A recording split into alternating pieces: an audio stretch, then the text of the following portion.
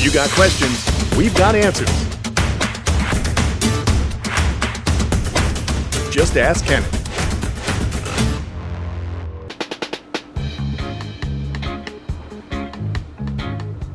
Hey, what's going on everyone? Kenan here. It's time for another Ask Kamp Kenan question. I am inside the most echoey place in my house. It's my former office, which is still kind of my office. But as you can see, I have been slacking. I have not done much work. But what I will do and what I have done is set up the incubators, you see. And the incubators are cooking some eggs. And today's Ask Kamp Kenan question comes from Chris Dornish. And he asked, can you make a video showing the different stages of egg incubation? Also daily maintenance and how to prevent bugs and eggs from cracking due to moisture. Great question. Let's see if I can answer it, everybody. We're going in. We're checking out the incubator. Now, first things first, the incubator I use are from Sea Serpents. It's their uh, good old hot box incubator. And uh, you can check them out right there. Uh, good old Chris is a friend of mine, and he has set me up with a beautiful incubator. And uh, these work very well. Now, first things first, I've got my Vivarium Electronics uh, thermostat and uh, control module right there, keeping everything at about 84 degrees. You can program this for nighttime drops, but I just keep it at 84 degrees. Now, uh, again, I have a humidity gauge in here. Uh, there it is. It doesn't really, this thing, I don't know, I got it from Home Depot. Not really too stoked on them. They don't work that well. But what I do is basically do it by feel. I put a tray of water in here. Okay, I always make sure that's full. And then I am, I've been using perlite and vermiculite as well as some of these uh, sim containers where you can put water on the bottom right here. Down there, you'll put a little bit of water and it keeps a nice humidity here. Now, I've released the top or sometimes what I'll do is I'll put the top on these, but leave them cracked because sometimes you can gather too much moisture. I also do burn little pinholes inside of these because let's have a look so you can see. So you can vent it better. There's a little eggshell there. Uh, but anyway, you can vent it a little bit better. Uh, so there it is. Uh, all right, so you get a little flow. Uh, in other cases, when I need more humidity for a species like these Chinese boxer legs, I use the perlite. I do a one-to-one -one ratio of water to perlite for weight, and then I put some sphagnum moss that's been uh, moistened on top, and these guys are doing very well. Um, what I like to do every few days is I crack open some of these to give them air. As you know, this one is already cracked open. Uh, so I like to do some gas exchange. Again, all of my containers will have some holes in there for breathability, but when you do that, you're gonna have to make sure that the humidity in there uh, is still adequate. And sometimes I'll take uh, a large syringe or turkey baster and I'll just put a little bit of water into the substrate directly into the substrate. You just inject it and uh, that'll give you some moisture and you don't want to really wet the eggs okay? That's not what you want to do. These are some radiated tortoise eggs cooking. Um, so now let's get on to some exciting news. Let's see if I have some eggs that are actually uh, hatching ah look at this and I think we actually have eggs that are going through certain levels of hatching. So let's, let's start, of course, with this phase. Uh, this is what a little bit more than pipping. This is a cherry head tortoise, okay? And this little tortoise right here uh, has pipped out this morning. He was a lot more um, concealed, but I went ahead and I broke open a little portion so that he can breathe easier because sometimes uh, I've had tortoises uh, die because they get suffocated. They get some mucus on them. If the humidity isn't right in the incubator, or if it's too dry, that mucus will harden over their nares or nostrils, and that could be uh, disastrous because they asphyxiate, they, they suffocate, and uh, unfortunately they'll die as they try and get out of the egg. So what I do is I just take a pair of tweezers and peel back the thin membrane, the, the, there's like two parts to the shell. There's a hard outer layer, and then if you look right here, right there is a softer leathery type layer of the shell. And I just peel that back with my little forceps and I give him a little breathing area. And then what he does is he kind of moves around, uses his egg tooth to continue to break out of the shell. And basically he'll spin around as much as he can to kind of break through that shell. Uh, and then after that, you can kind of see on this cherry head right here, this cherry head is completely split through the shell. I'm gonna go ahead and gently move it off like this. Oh, there you go, little buddy. These are beautiful cherry heads. These are Darth Maul cherry heads, everybody. So these are the really beautiful and unique uh, cherry heads. Look at this. I'm just going to gently move him. There's his yolk sac, and there he is. Up. Oh, let me see if I can get past that. Yes, look at the color.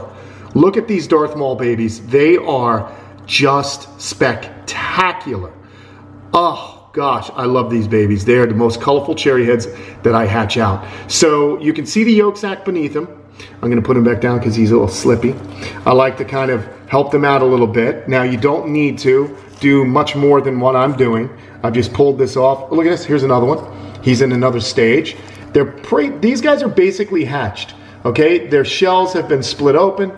Um, what happens is as they hatch, I'm gonna move this stuff over there. Their shells continue to unfold. Here's one that hatched uh, the other day.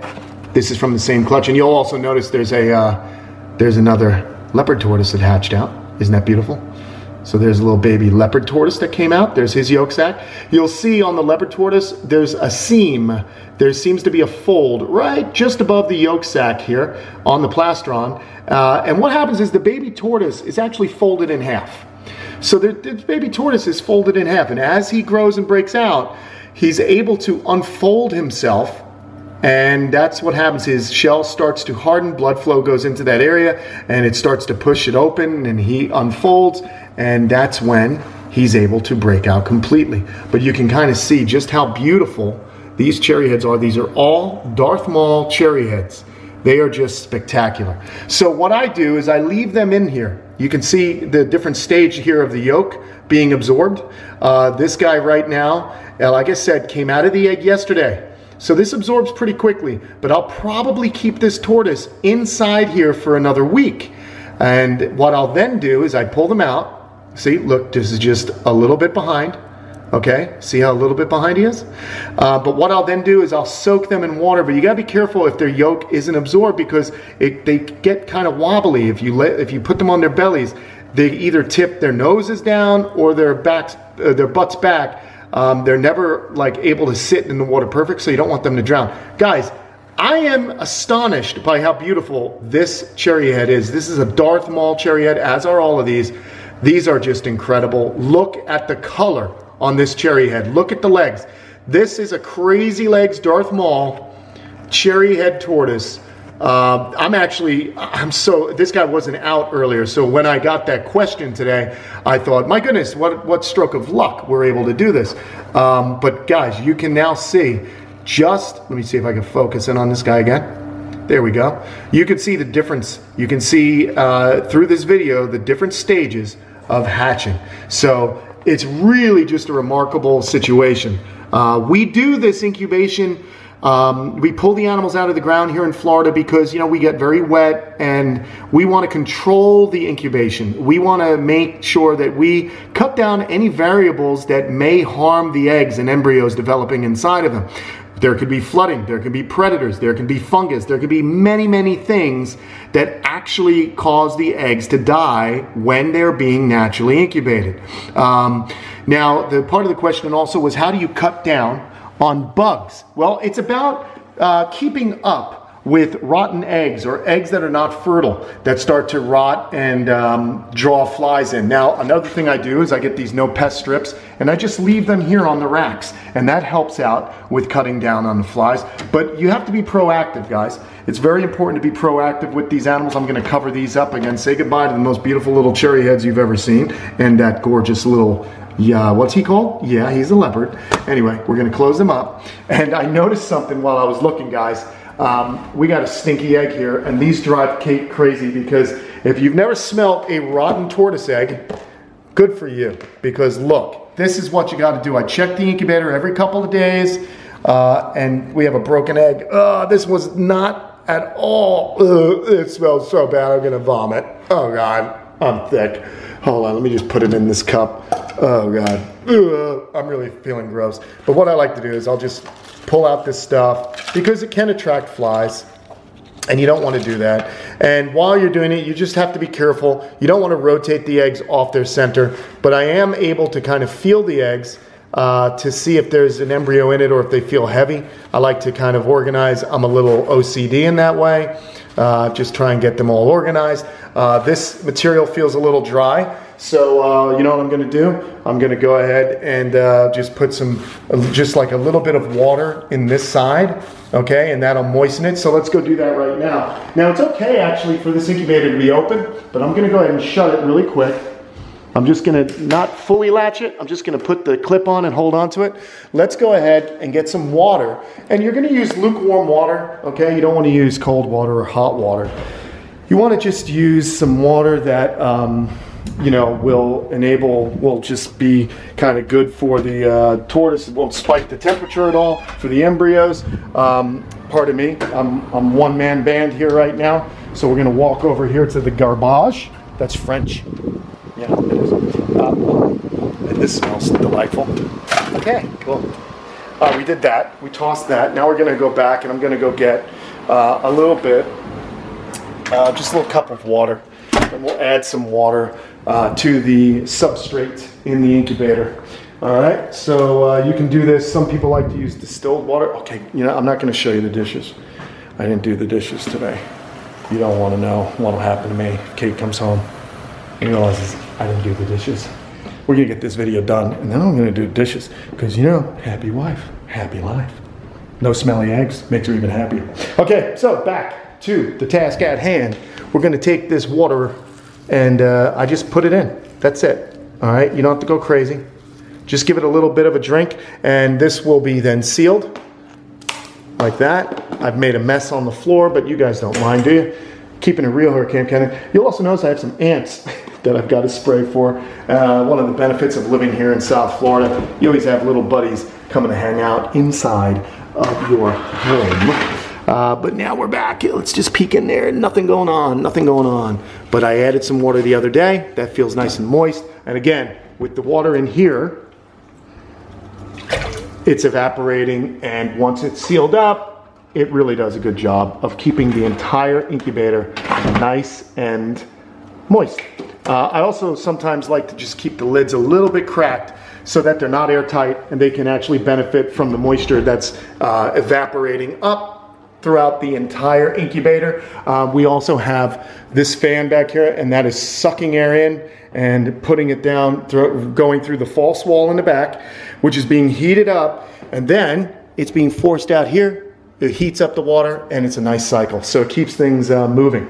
Keep it moving, moving. Let's look at one more time this beautiful little cherry head and then we'll sign off everybody because I think we've done a good thing. I think we broke through with a really cool video for everybody.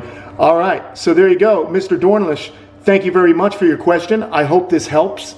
Uh, you know, it's about keeping the incubator clean, keeping up with rotten eggs. Uh, if you do get those little pests, get the no pest strips uh, very effective. Remove the egg immediately and try and discard any dirty substrate as fast as you can. Uh, you don't want to get a fly strike on the yolk. That could be mm, very, very uh, bad for the baby tortoises. So uh, again, they're going to stay in here for up to a week. They're going to absorb and uh, be on the lookout on Instagram for this little guy because my goodness, is that a beautiful tortoise.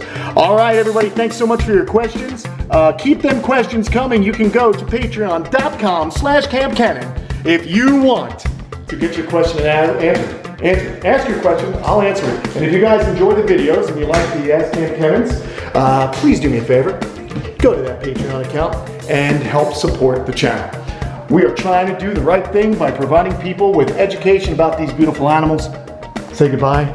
I'm signing off. It's time now to get on out into the backyard. You get outside too. Remember, conservation and education equals infinity. I'll see you guys later.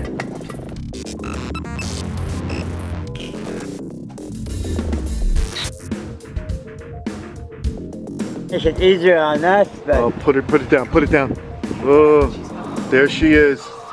That's a big old snake.